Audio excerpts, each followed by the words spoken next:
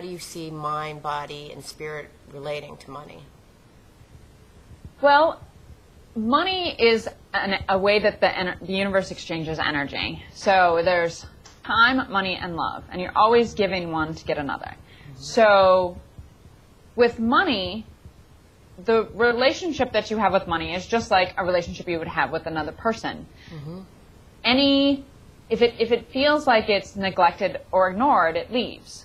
So the mind, body, and spirit is the mind is the mindset, the things that we think and the stories that we tell ourselves, and the actual physical tracking and planning of money, the thought, mm-hmm. the, the paying attention to it part. Right, the minds, that, the minds and stories that we put about, about money. Right. Okay. And also, am I am I taking care of my money? Do I know where my money goes, and do I know what's coming in, and am I being responsible? Right, the logistics, practical parts of money. Exactly. Okay. The body part, there are a couple of sides to the body part. One side is that your body actually feeds your mind information back and forth. So, mm-hmm. biologically, in your gut and in your heart, there are actually cells that act as neurons. Mm-hmm. And that's where we get the gut gut feelings or gut mm-hmm. intuition. Right. And so, on one side, if you're stressed out about money, it actually reduces your effectiveness in the mind side, and it changes your energy on the spirit side. Mm-hmm. If you're calm and centered and grounded in your body, if you can stay in your body when you're thinking about money, then you actually have a way to access intuition and bypass your brain. Because hmm. sometimes your brain tells you stories. Hmm. So I teach people um, techniques to get in touch with their body and stay centered mm-hmm. and use that connection that your body already has with the universe or God, whatever it is that you, however you look at it, and make better decisions and do the things that are right for you and get rid of things that are sucking your energy. Right. So anything that drags you down, uh, you can feel in your body. You know as soon as it happens. Like when you get a phone call from a quote unquote friend, and as soon as you look at the phone, you're like, oh, jeez. That's an energy suck. Right. And those things also suck your money because your time, money, and your love are all related. Mm-hmm. So if you start getting centered and paying attention in your body, then you can use that to stabilize your finances.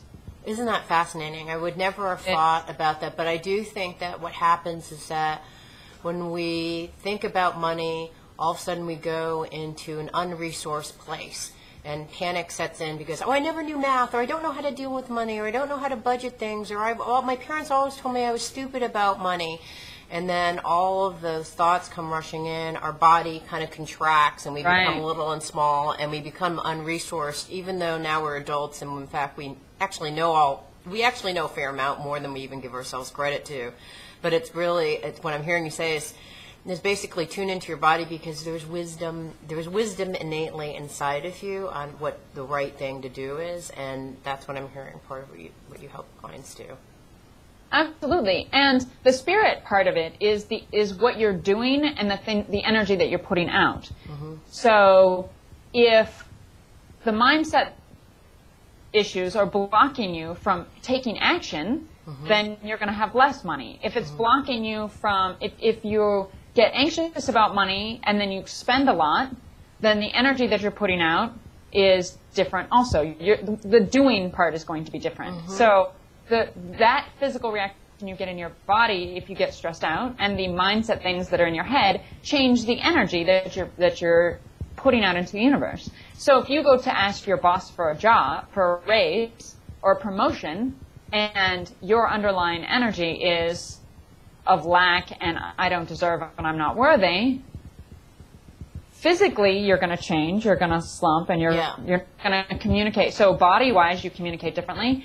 Um, mentally, you're thinking differently, and it changes everything. right So the spirit ends up the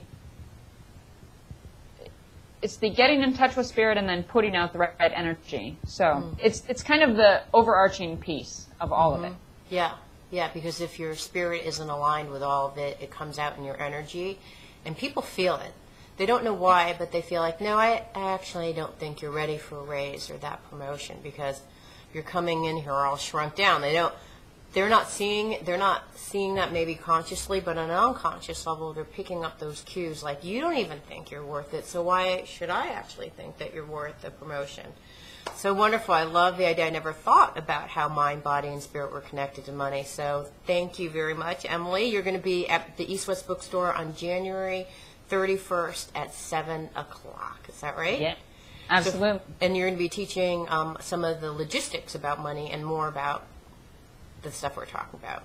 Yeah, all of this, and uh, including some hands-on actual exercises to help people. I, I want people to walk out with not just feeling different, but having some tools to, to change their entire relationship with money from this workshop. Yes. So, Yeah, I love tools. Okay, so in the next segment, we're going to be talking about tools and Okay. uh, and some exercises that some, that you can actually go through. Thanks so much for being here. Bye bye. Bye.